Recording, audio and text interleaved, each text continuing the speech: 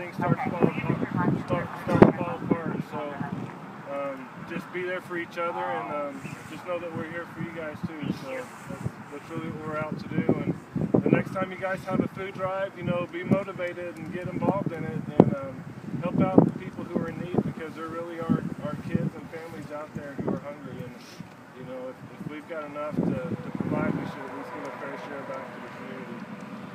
Just remember, all great ideas start, start with a thought. That thought. Take that thought and turn it into something else. Always do. It. And never be afraid to do it